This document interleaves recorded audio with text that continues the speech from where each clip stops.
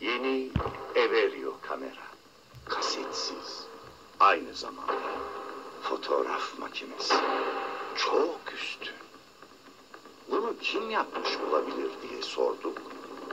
Japonlar veya Japonlar dediler. Doğru söyle.